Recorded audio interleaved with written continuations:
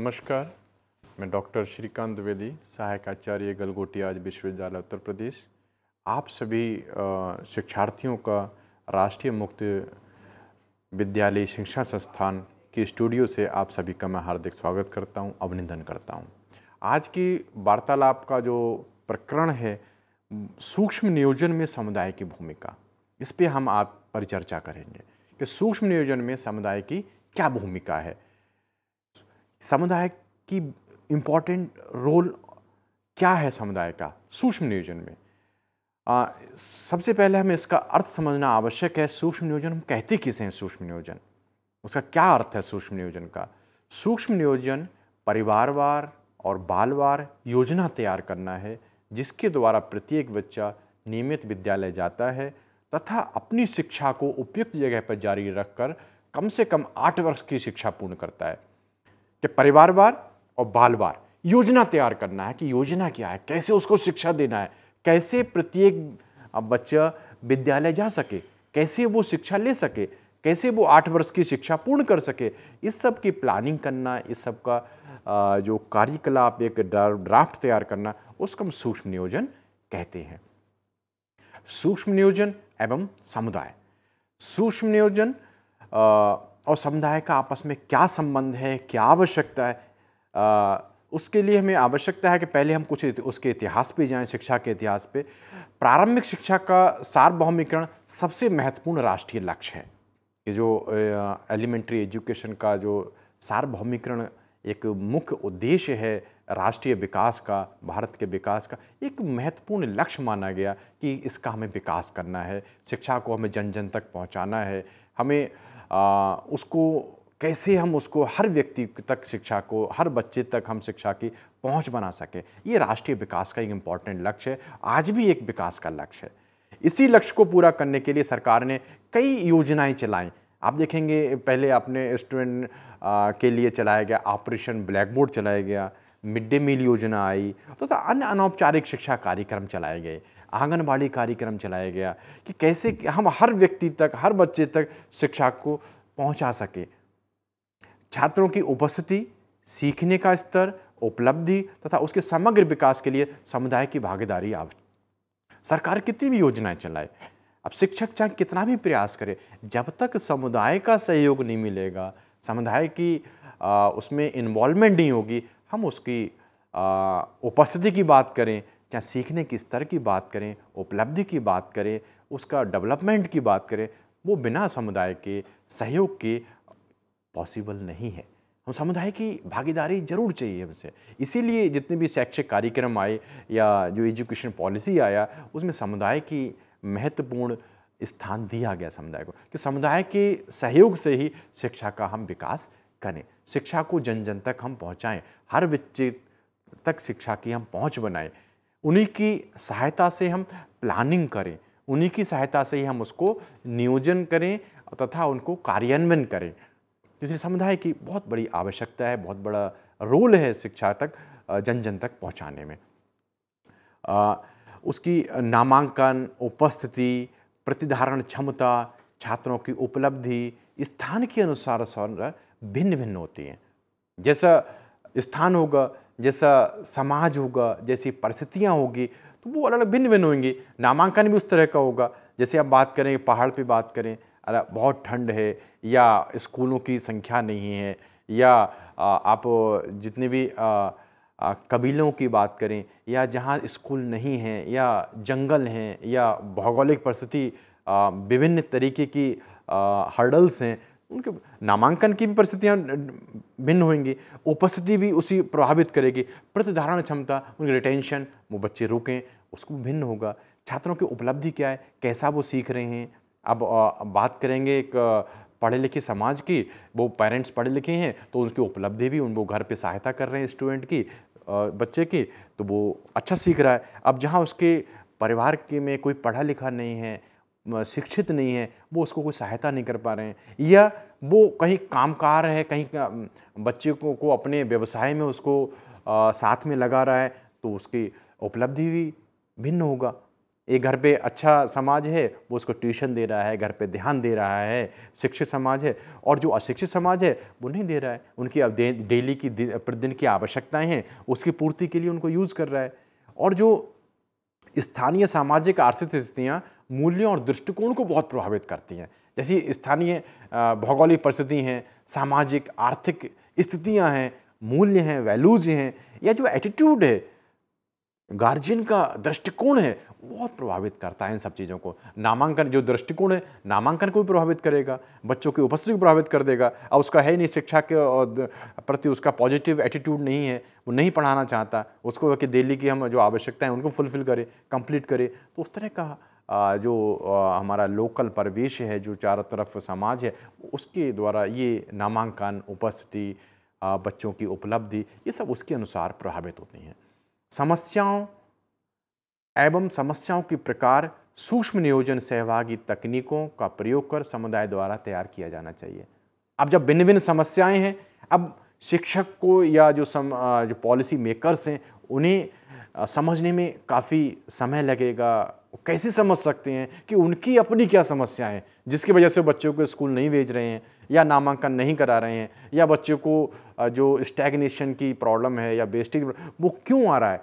वो हम उस समाज के लोगों से हम बात करें तो उनके समाज के लोगों से मिलें, उनसे बात करें उनकी समस्याएँ क्या हैं, समस्याओं का प्रकार क्या है तो सूक्ष्म नियोजन जो करना चाहिए प्लानिंग माइक्रो प्लानिंग करना चाहिए तो वो हमें लोकल के लोगों को इन्वॉल्व करके जो लोकल परिवेश में लोग रह रहे हैं, हमारे समाज में लोग रह रहे हैं, समुदाय में लोग रह रहे हैं, उनको हमें अपनी जो प्लानिंग में माइक्रो प्लानिंग में हम उन्हें शामिल करना चाहिए, जिससे उनकी सहायता से हम कुछ प्लान कर सकें, उनकी समस्याओं का निदान करने के लिए हम उनके लिए कुछ अच्छा उपयोगी कार्यक्रम चला सकें, उनको शिक्षा कैसे बेहतर पहुँच सकती है, उसके अनुसार हम उसको उनकी बेहतरी के लिए हम कुछ काम कर सकें। तो समुदाय के लोग उसमें इन्वॉल्व होंगे उसमें शामिल होंगे तो हम अच्छी तरह से हम उनको समझा सकते हैं अच्छी तरह से उनको हम कुछ प्रदान कर सकते हैं। जो पॉलिसीज़ हैं अच्छे से हम उनका नियमन कर सकते हैं।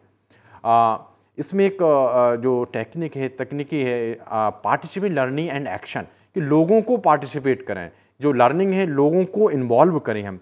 पीएलए स्थानीय लोगों को जीवन के अपने ज्ञान का आकलन विश्लेषण, जीवन का ज्ञान बढ़ाने, बाधाओं की पहचान एवं समाधान लक्ष्य को प्राप्त करने के लिए कार्य निगरानी तथा मूल्यांकन में सक्षम बनाता है। पहले जो एक टेक्निक है, वो स्थानीय लोगों को, कम्युनिटी के लोगों को, समुदाय के लोगों को, जीवन को अपने ज्ञान का आकलन करना बताता है कि जैसे वो उसमें इन्वॉल्व होंगे पार्टिसिपेट करेंगे उसमें इन्वॉल्व होंगे, उसमें शामिल होंगे तो अपने ज्ञान का आकलन करना कि जीवन में हमें कैसे आगे बढ़ना है जीवन में हमें क्या आवश्यकताएँ हैं? हमारी समस्याएँ क्या हैं हमारी? बाधाएँ क्या हैं? उसको पहचानना, उनका समाधान करना। हम उस समझ उनको समाधान कैसे कर सकते हैं? तो समुदाय के लोगों के साथ मिलकर उन समस्याओं का हम समाधान कर सकते हैं। उनको हम इन्वॉल्व करें। उनकी समस्याएँ में विभिन्न विभिन्न परिवेश के लोगों की विभिन्न जोग्राफिकल कंडीशन के अकॉर्डिंग समस्याएँ भी भिन्न होंगी। उनके समाधान, उनकी अकॉर्डिंग उनसे मिलकर, उनसे बात करके, वार्तालाप करके उन समस्याओं का हम समाधान कर सकते हैं। लक्ष्य को प्राप्त करने के लिए उनकी जो समस्याएँ हैं या उनकी जो हमें शिक्षा का बढ़ावा देना है क्या लक्ष्य हैं, उनकी निगरानी में भी उनकी इन्वॉल्वमेंट करना चाहिए। जो हमारा उद्देश्य है उनमें भी हम इन्वॉल्व करें कि हमारे उद्देश्य कैसे शिक्षा को बढ़ाना है उनकी कैसे उसको निगरानी करना है मॉनिटरिंग कैसे करना है पॉलिसीज़ का उसमें भी स्थानीय लोगों को हम शामिल करें।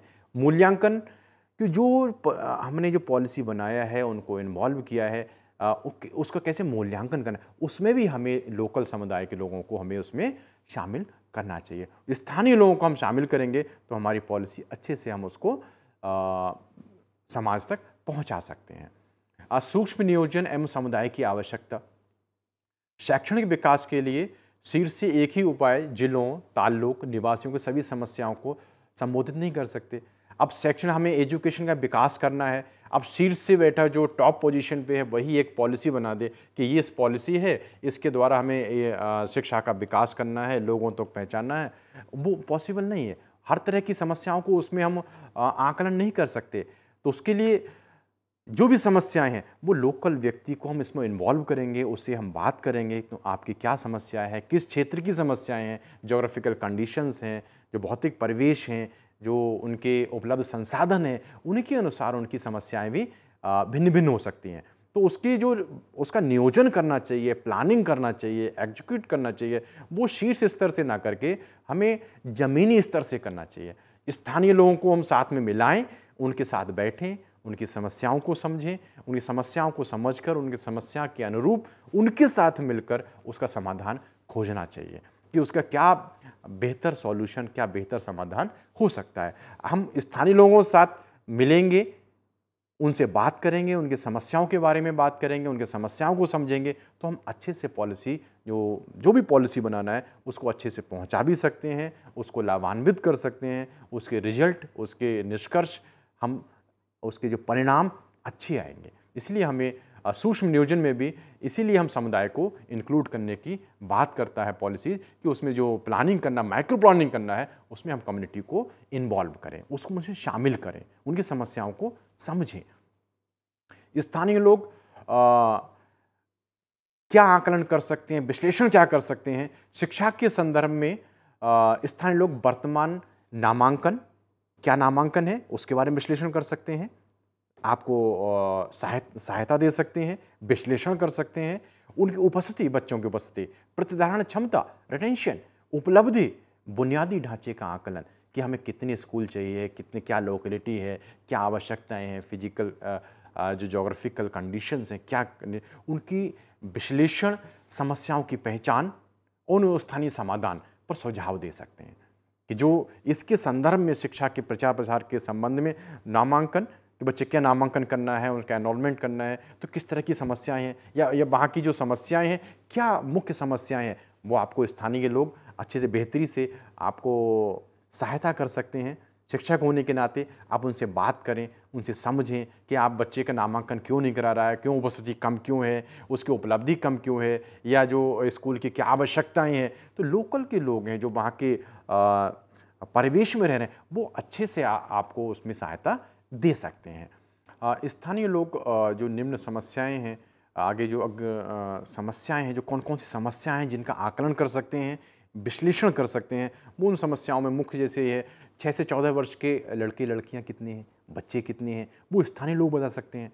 कि शिक्षा का जो राइट टू एजुकेशन आया है उसमें क्या छः से चौदह वर्ष की शिक्षा सभी को सुलभ होना चाहिए, सभी तक पहुँच में होना चाहिए। तो कितने बच्चे हैं? आपको ये पता तो होना चाहिए। तो वो स्थानीय लोग उसमें आपका सहायता कर सकते हैं, कि आकलन करके दे सकें कि हमारे एरिया में, हमारे क्षेत्र में छः से चौदह वर्ष के इतने लड़के हैं, इतनी लड़कियाँ हैं। हम उनके नामांकन के लिए आपकी सहायता कर सकते हैं। कितनी नामांकित लड़की लड़कियाँ हैं और कितनी नामांकन विहीन लड़के लड़कियाँ हैं। बच्चे हैं। वो उसमें स्थानीय लोग आपकी सहायता कर सकते हैं। वो हाउस होल्ड सर्वे आप कर सकते हैं उनकी सहायता से कि आ, कितने बच्चों ने नाम एनरोल हुआ स्कूल में और कितने बाहर रह गए या बीमार बच्चे या कितने कुपोषित बच्चे हैं वो आपकी सहायता कर सकते हैं कि समुदाय में रह रहे हैं जो परिवेश में हैं कि बीमार बच्चे कितने या कार्य करने बच्चे जो कार्य कहीं किसी न किसी कार्य में जुटे हुए हैं चाहे कोई भी परिस्थिति रहा हो परिवार की आर्थिक सामाजिक स्थिति रहा हो तो कार्य करने वाले बच्चे कितने कितने आ, लोकल व्यवसाय में उनको आ, लगा रखा है उनकी संख्या आपको उनके बारे में जानकारी आपको समुदाय से मिल सकता है। या ज़ीरो से छः वर्ष के लड़की लड़कियाँ।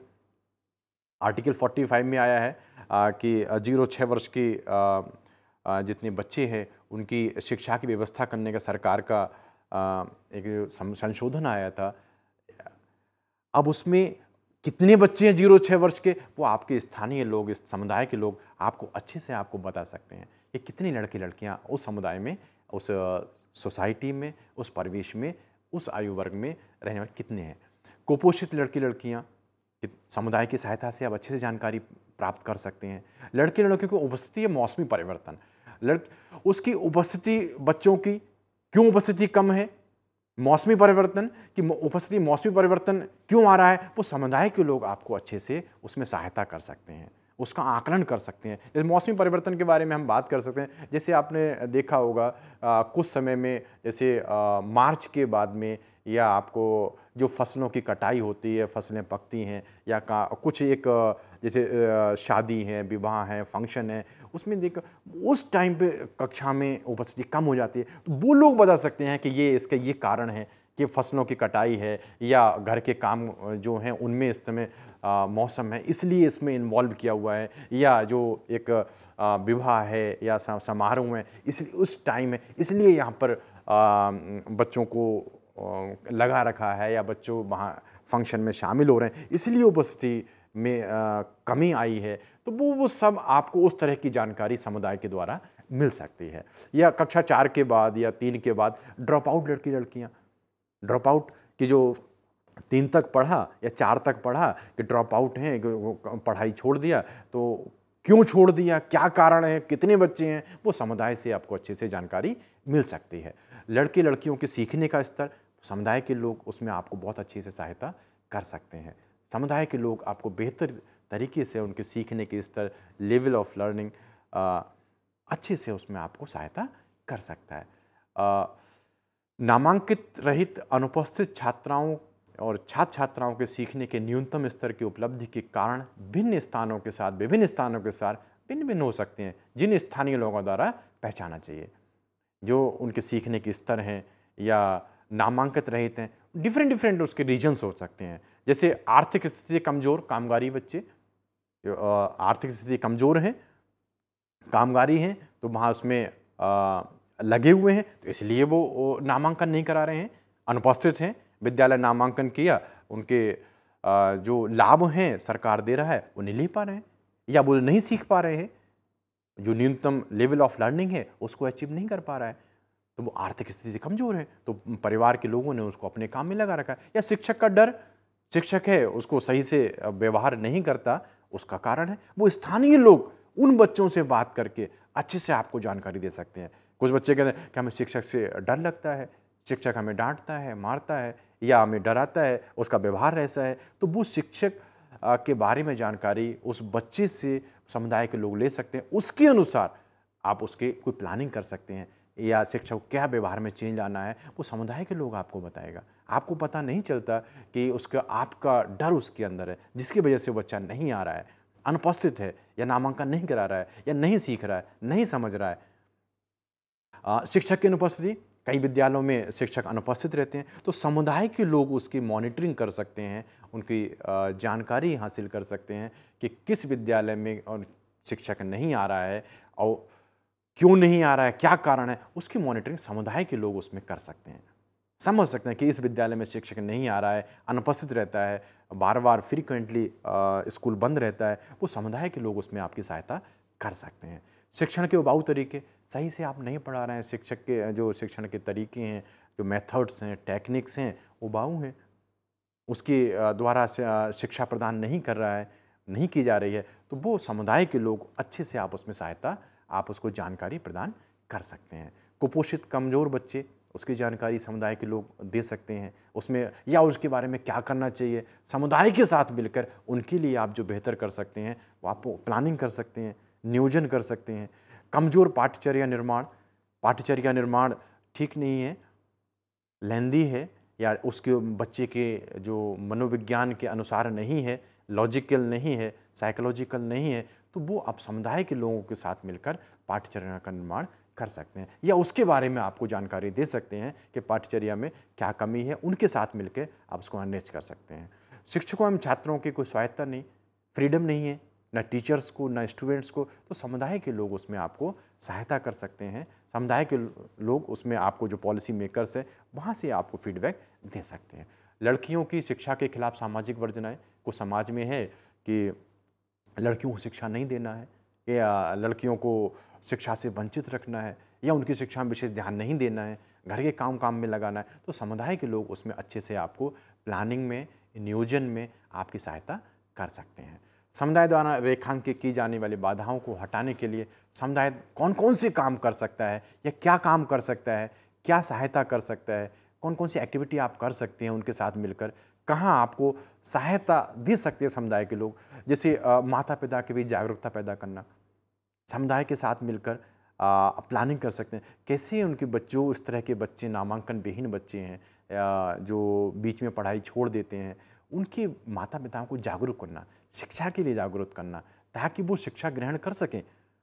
काम करने वाले बच्चों को वैकल्पिक स्कूल की व्यवस्था समुदाय कर सकता है। जैसे आंगनबाड़ी है या शाम को कोई जो ग्राम पंचायत है, क्षेत्र पंचायत है, कहीं इस तरह की बैठक कर कोई अनौपचारिक शिक्षा केंद्र खोल सकते हैं, जो शिक्षा दे सकते हैं, प्रौढ़ शिक्षा केंद्र हैं, या जो गाँव में कोई पढ़ा लिखा व्यक्ति है, उनको कहीं ना कहीं किसी न किसी तरह से उनको वैकल्पिक व्यवस्था कर सकता है। समुदाय के लोग इसमें आपको बहुत सहायता कर सकते हैं। शिक्षकों और छात्रों के लिए स्वायत्ता शिक्षकों के लिए फ्रीडम छात्रों के लिए फ्रीडम कैसे उसको हटाना है, वो समुदाय के लोग आपको सहायता कर सकते हैं।